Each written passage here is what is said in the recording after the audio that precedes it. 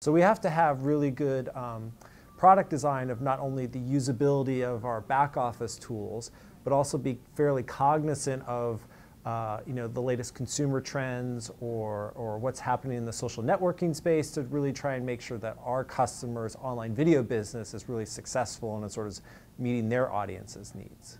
From the very beginning, we've been very focused on allowing non-media companies to have the same powerful tool set. So if you're an, an institution or the government or a corporation and you have a message and you have communication that you want to deliver to your audience, you can use the exact same things that one of the top five channels in the US would have been able to use.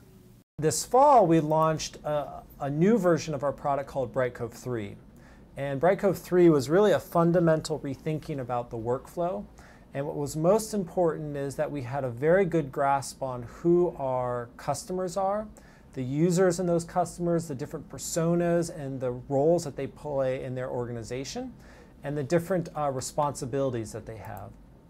And as part of that, we took functionality that was available in the console and broke it across three main areas around managing your media, publishing your video players, and controlling your advertising if you're a media company.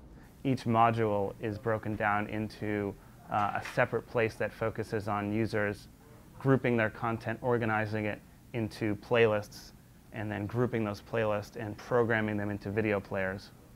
A separate module that focuses on creating the video players and choosing a template or a layout to put on their website and organizing the look and feel of what that player experience uh, is like on their site. So selecting the colors, selecting the fonts that match the, the company's brand. So diving into one of these areas, like the media module, the video objects or the titles are sort of the first class object in this world.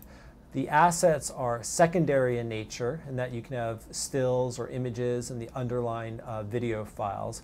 Once you've organized all that content, you can also then as a media producer program that content into your different video players. Different playlists that I can add or remove.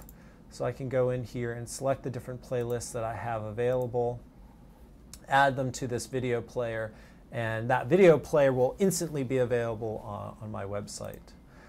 And I can go into one of these and actually create and style these different uh, video player experiences where I can I get access to different styling tools um, to actually manage how the videos will look.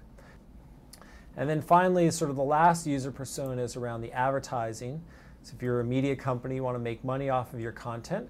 And so you get a worldview across your video library and your players, and are able to set up different uh, metadata models for how uh, your campaigns get managed by adding different advertising key value pairs or setting up the ad policies for my players also. What we focused on very, very early was really trying to make the system as simple as possible. Literally, if you had video content, and you could encode it digitally.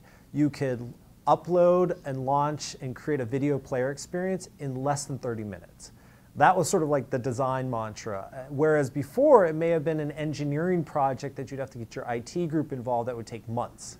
Um, but with our system, literally, it was all UI, uh, you know, application-based, upload your content, create a video player, skin it, brand it, put it on your website, and it's all done instantaneously.